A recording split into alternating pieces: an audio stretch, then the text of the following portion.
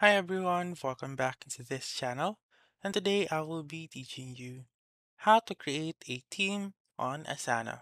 So let's begin right away. The very first step is to open your Chrome, Safari or any web browser that you want and then proceed to app.asana.com. Once you're here, simply sign in with your account. And then now, to create a team, some users can see the Create Team button found on the upper right with this button right here, the plus button or the new button.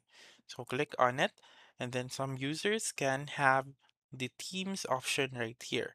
However, for users like me that doesn't have that option, what we can do is that we should only invite people. So click on invite instead of the team button right here.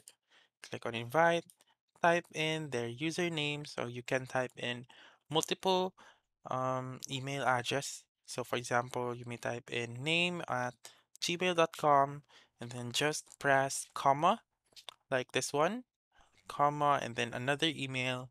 And then you may add them to your projects and then click on send on the lower right corner and then that's it. You may also invite people by clicking on invite people right here on the toolbar or on the left pane. So click on invite people and then do the same here as well. So make sure to add them to a project so that you can still be considered a team. So that's it. That's how you can create a team on Asana.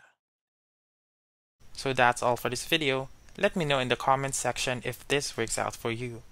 For more helpful tutorials like this, please subscribe to our channel and don't forget to click that notification bell. Thank you for watching and have a wonderful day.